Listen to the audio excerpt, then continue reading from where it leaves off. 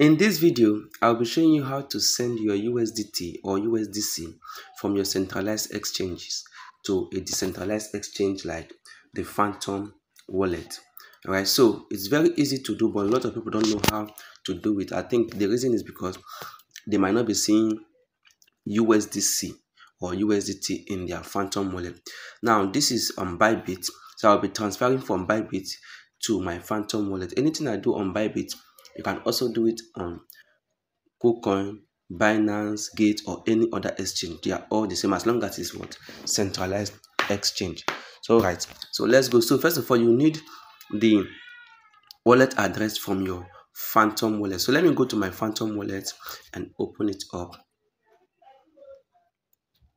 So let me open it up like this. So in my Phantom wallet, I have different wallet accounts. I have different accounts. You can see there are different accounts here. So I'm making use of this particular one to send the USDC. I'm sending USDC. So you can also send USDT. I understand that USDT is being delisted from European exchanges but not in african exchange so you can still be making use of it while the issue is being resolved or just switch to usdc and just relax yourself. From this day henceforth you can just start making use of usdc instead of usdt all right so now to do this first of all you need to understand that um this um phantom wallet all the wallets here are all evm wallets. You understand? Electro um, um ethereum virtual machine wallet. That is what evm wallet so since they are all evm wallets all you just need is the chain wallet, not each individual wallet. What I mean is this now. If you look at this, this is Solana wallet, this is Solana, this is Ethereum, this is Polygon, this is Bitcoin. So all of these ones here are all chain network.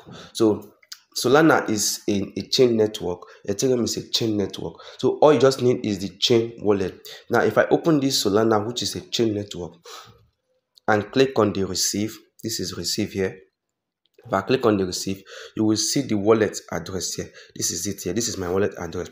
Look at this wallet address very well. This is on Solana. Now, if I go to this coin that I have here, this is Rebit.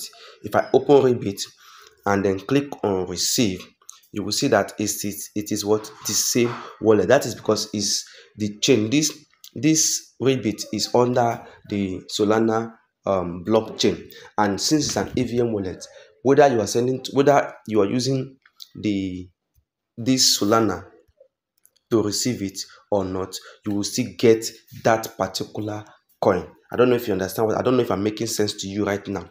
I don't know if I'm making sense. Let me just explain it again. This is Rebit. Right, so this Rebit, if I send Rebit to my Phantom using my Solana, using my Solana network wallet address, using my Solana wallet address, it is going to appear on this phantom. And when it appears, it's going to show as Rebit, not as Solana, because it is what a chain network and it's under the EVM what wallet. All right, so let me just use when I do this now with with USDC, it will be clearer. So for you to send your USDC, all you just need to do is to choose the chain which chain are you sending it to? I want to send it to my Solana blockchain, not Ethereum, not Polygon, not Bitcoin. So I want to send to my Solana. So I'll click on the Solana right now and then click on this receive. Click on the receive, then copy this Solana wallet address. When I copy the wallet address, I'll go to my Bybit. So I'm going to my Bybit right now. So before you send on your, before you send from Bybit, you click on asset under the asset make sure that the money you want to send is on funding. So if it is on unified you transfer it. You click on transfer. Transfer from unified to funding. So right now my own is on funding like this. I'll open the funding. So this is what i have usdc this is what i have here. So i'll click on withdraw. So i'll click on withdraw right now. Then i will choose the the coin i want to withdraw which is usdc so i'll paste the wallet address like this. That is the wallet address once i paste it the next thing i will do is to choose the chain type. You can see it here. Please choose a chain type. So i'm choosing solana. Remember it's solana we are sending. So always choose the solana. If at this place you not choose a different chain that is when you lose your money. Let's say i choose bsc i will lose the money. So let me go back. I've chosen solana. So i'll now put how much do i want to withdraw? Um let me just say i want to withdraw 13 dollars. I want to send 13 dollars. Of course you're going to charge me one dollar. You can see it here as fee. So i'm sending this 13 dollars to my solana on phantom. So i'll click on withdraw right there. So once i click on withdraw i will verify. I already know my wallet address which is g3hme and at the end q5nzb so i'll click on confirm. So for me to since it is my wallet i can just add it to my whitelist like this. Just click on this. Now i click on confirm. So withdrawal submitted. Already i've added it before to my to my whitelist right? So now i have withdrawn it. I'll click ok and then i'll wait. You can see the balance right now right here. This is the balance. So for me to see that i have sent it to my phantom i will go back to the phantom wallet and then let me come back to my home. Then i'll refresh here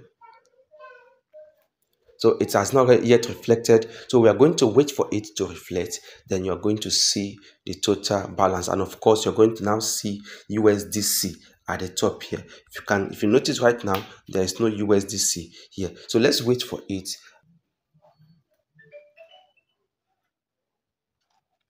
All right so you can now see it here. You can see usdc 13 dollars. So right now the total amount i have is now 17 dollars. So this is just how you send it. And if you look at this place it's telling me that it is on what? On the solana. That is why you can see this solana logo at the bottom here. So this is just how you send your usdc from any centralized exchange to your decentralized exchange. You can do the same for Uniswap. For sorry, for Uniswap, yeah. You can do the same for Uniswap. You can do the same for Sui or Keeper. Alright, guys, that is it for me in this video. In another video, I can now show you.